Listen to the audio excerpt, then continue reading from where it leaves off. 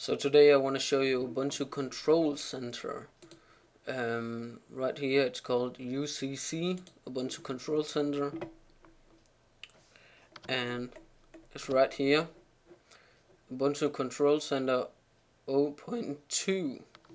So we got uh, software management, Ubuntu Software Center, system updater, and this application is for, I would recommend it to new Ubuntu users because this application will, will make it easier to do stuff.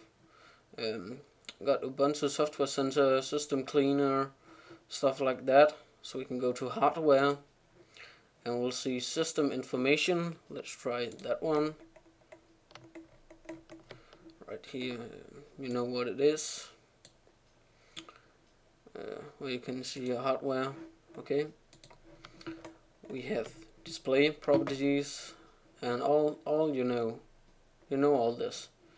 Uh, network and internet network connections Bluetooth share files on the network remote workspace preferences. Let's go to system startup applications login screen manage system services language language selection default applications, stuff like that. Local disk, manage drives and media. Partition manager. Account preferences, about me. Uh, users and groups, keyboard shortcuts, screensaver, visual effects, stuff like that. So uh, this is very a very handy applications for uh, new Ubuntu users and I like it very much.